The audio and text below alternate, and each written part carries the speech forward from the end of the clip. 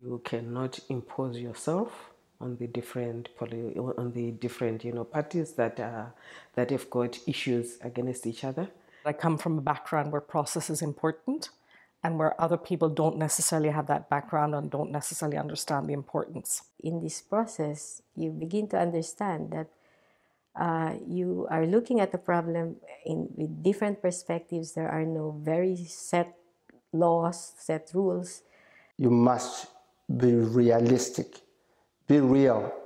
Don't try to be uh, educated or to be holy uh, or to be an expert. The war is about stereotypes. If you break those stigmas and if you break those stereotypes uh, and the other sees the complexity of the enemy, then you begin the process. This is the real challenge for us.